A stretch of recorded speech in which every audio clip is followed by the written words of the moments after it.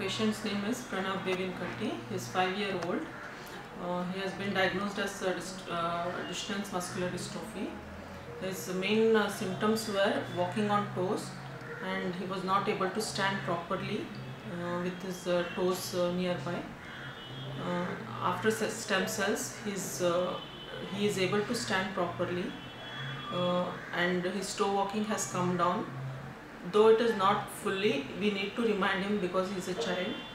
But compared to uh, compared to previous he has been keeping his toes flat uh, foot flat while walking. Uh, his uh, walking style has improved. His muscle mass is improved